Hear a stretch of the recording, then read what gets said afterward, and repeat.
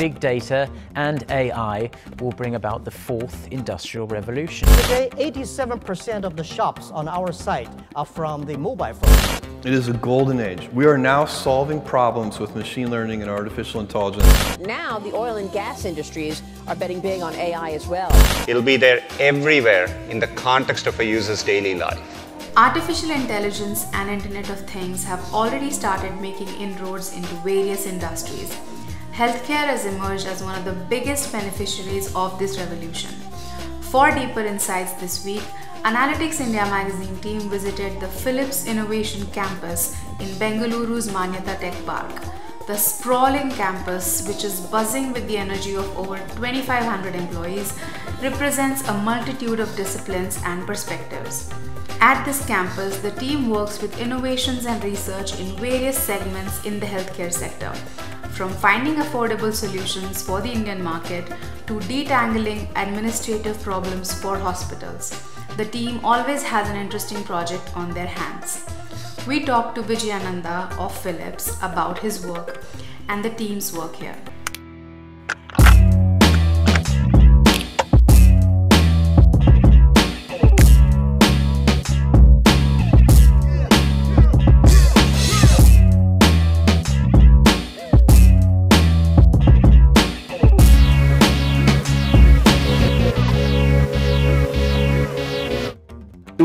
You a very high level uh, view of where we are focusing, one is definitely on the operational workflow.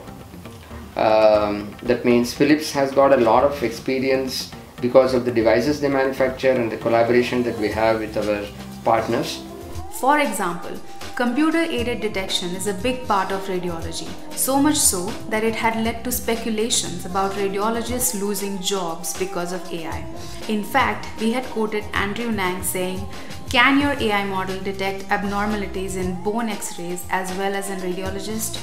AI, I don't think AI is still already there where it can replace uh, radiologists or uh, any of the human person who has an expertise in that area. The only thing that uh, AI will definitely help either a junior radiologist or a senior radiologist is trying to do things whatever they're doing much better. In uh, hospitals, especially in India, there is a huge waiting time for the patient. If you go to, uh, let's say, a hospital in CMC Vellore, um, the waiting time for a patient to get scanned is around 2-3 days. And uh, typically, uh, on the average, an MRI scan uh, across the globe uh, is around anywhere between 20 to 40 minutes. But in India, it is around 40, 50. Uh, in Rajasthan, it is around 100, uh, etc. So there is a need to. Why I'm saying this is there is a need to see how you can optimize further, increase the productivity, so that more number of patients can uh, can be scanned. Because artificial intelligence in healthcare sector can not only help with the optimization, but it can also change lives. Vijayananda explained this to us with the help of a use case from a hospital in Vellore. So Philips has got a division called Population Health Management where you try to kind of analyze the data coming from multiple uh, patients, multiple cohorts and see whether you can take some decisions at a policy level uh, which can uh, help in the entire, let's say, prevention of a particular disease. However, patient data in the healthcare sector is especially scattered. Vijayananda explained that there is no single healthcare provider who stores this information in one place. This leads to information being scattered in fragments of data which are stored in different places. This not only makes it extremely difficult for the data to be collected in the time of need, but it also raises different issues such as data theft and disorganization.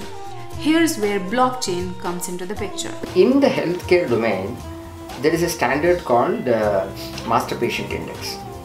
That means if I go to a, uh, if a patient goes to a hospital X, and then he is given uh, let's say a patient ID and then he goes to hospital. Y he is given another patient ID there is a central repository which tries to link these two. With India in especially with Aadhaar coming in this is uh, really a boom. Because if the Aadhaar is uh, taken as a patient uh, registration ID uh, in both the hospitals it becomes very easy for somebody to actually collect the longitudinal record of the patient. Now, with the advent of artificial intelligence, many startups are popping up in the healthcare sector.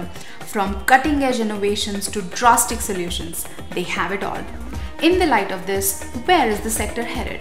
Vijayananda has a candid answer for this. Many of the startups uh, they focus more on the actual algorithm, uh, which is only 5% of the effort that goes in the overall effort when you actually have to build a product and make it part of the hospital workflow. And uh, uh, the, many of the startups they fail to first of all understand this particular point of uh, how to create a product or how do I make my algorithm fit in the overall hospital workflow. Sadly, very few of the emerging data scientists want to work in the medical and healthcare sector. In fact, we found out in our survey that only about 13% of data scientists want to work in the healthcare sector. Developing a model, an algorithm, it has to go through regulatory process like FDA, 510K, CE marking, etc., etc., to actually put the models in production. So there is a lot of gestation period where you start with the uh, creating the models and when it is being deployed. So I think this is a deterrent for many of the uh, data scientists because it takes a while before they actually see the models in, in use, uh, putting in, in, putting in production. So does healthcare sector hold many opportunities for budding professionals in data science, analytics and new tech? The answer, as Vijayananda says, is an absolute yes. Healthcare opportunity space is immense uh, probably 20 times than uh, that I can think of in the retail or in the or in the customer survey. So clearly, the potential for incorporating AI in the healthcare sector is immense. But the question is, is India ready for it? Ravi Shankar Prasad, Union Minister for IT, seems to think so. In fact, he had said earlier this year that India needed to leverage AI, machine learning, and Internet of Things for innovations in healthcare, agriculture, and education. So clearly, if the AI is the engine of growth, then the healthcare AI market is definitely getting geared up for the ultimate boom.